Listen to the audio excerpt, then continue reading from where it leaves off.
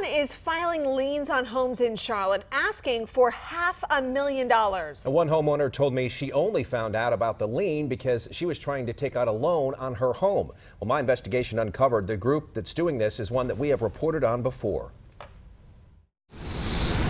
Freedom Park in Dilworth is surrounded by pricey homes, and somebody wants a piece of those homes, filing liens for half a million dollars each. The closing attorney called us and said, are you aware of a lien on your home? This homeowner does not want to show her face, afraid the group will file more liens. She and other neighbors got this letter in the mail this spring from the Cherokee Nation of the Moors. It calls Charlotte the Imperial City, saying the empire of the Aboriginal Moors has been resurrected, and homes on their land owe a sovereign soil tax of half a million dollars. I just thought it was ridiculous. It just seemed like such an incredible claim. I spoke to three other neighbors who also had these lanes put on their homes.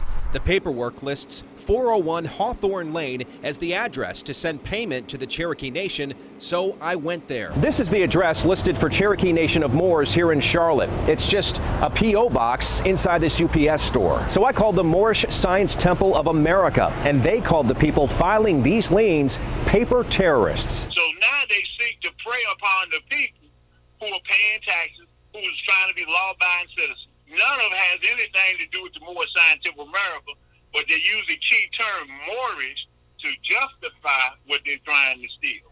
I emailed the person who filed these liens, and the response I got back was from a name we're very familiar with here at Channel 9. It says Empress Ninti El Bey. And her response to me, she threatened to sue me, just like she threatened to sue Channel 9 a few years ago. I'm lawfully here. Yeah. Ninti El Bey is the same woman that we investigated in 2015 after she laid claim to a foreclosed home in Piper Glen, even moving in. She was later convicted of trespassing and breaking and entering. This latest lien filing also lays claim to almost every home surrounding Freedom Park, including Todd Nutty's. If you just can file paperwork, I would think the people at the city should be more uh, observant as to what gets filed. But the Mecklenburg County Register of Deeds says anyone can file a lien on a home as long as they pay the fee and fill out the paperwork properly.